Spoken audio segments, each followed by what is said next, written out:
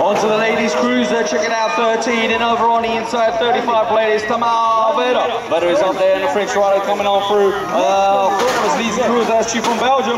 Uh, she's coming on through to the second place at the moment, the 79, and that's Van der Kolk. Van der Kolk now up into second, and the 59 there is coming on through Van Groningen uh, from.